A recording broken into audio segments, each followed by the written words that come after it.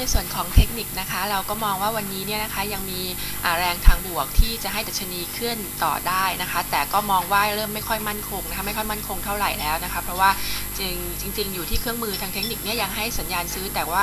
หลาย ๆ ตัวนะคะเริ่มมีสัญญาณเตือนออกมานะคะว่าอาจจะเป็นช่วง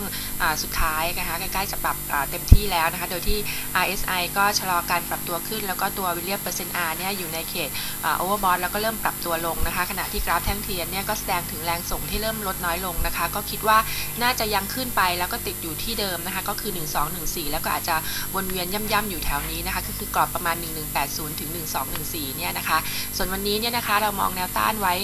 2 จุดนะมองแนวต้านไว้2จุดนะคะ ก็ยังคงเดิมก็คือแนวต้านแรก 1207 แล้วก็อีกอันนึงก็คือ high เดิมที่ 1214 ส่วนแนวรับเนี่ยจะอยู่ที่ 1194 แล้วก็ 1188 ค่ะ ต็อกวิววันนี้นะคะ ตัวแรกจะเป็นตัวเอสโซนะคะ ก็เชียร์ต่อเนื่องจากเมื่อวานวันศุกร์ที่เห็นว่าเเมื่อเมื่อวานตอนกลางวันนะคะที่เห็นว่าเริ่มสร้างฐานได้ แล้วก็มีการส่งสัญญาณฟื้นตัวขึ้นมานะคะจนจนกระทั่งเราก็มองว่าน่าจะได้เวลาฟื้นตัวจริง ๆ อีกรอบหนึ่งแล้วนะคะเพราะเครื่องมือ modify ที่ยังอยู่ในเขตโอเวอร์โซนเริ่มส่งสัญญาณซื้อ แนวรับก็จะอยู่ที่ 11 บาท 60 ถึง 11 บาท 40 นะคะ แนวต้าน 13 บาท แล้วก็คัดลอสที่ 11 20 ค่ะ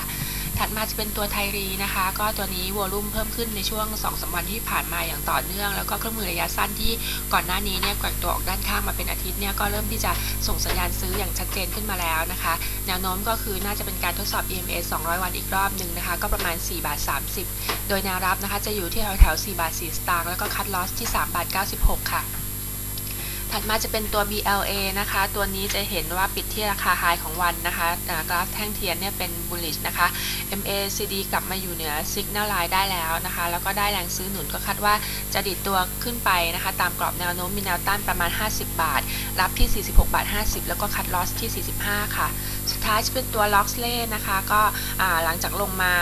ออยู่ ทำจุดต่ำไว้ที่ EMA 75 ของรอบนี้นะคะก็ปรับตัวขึ้นเรื่อยๆ มาโดยตลอดนะคะจนกระทั่ง MACD เนี่ยกลับมายืนเหนือ Zero Line แล้วก็ Signal Line ได้แล้วนะคะวอลุ่มเมื่อวานก็ค่อนข้างหนาแน่นนะคะ คิดว่าน่าจะได้ขึ้นทดสอบแนวต้านเดิมก็คือ 4 บาท 10 สตางค์อีกครั้งหนึ่งแนวรับจะอยู่ที่ 3 บาท 92 แล้วก็คัทลอสที่ 3 บาท 86 ค่ะมีประชุมในส่วนเทคนิคค่ะ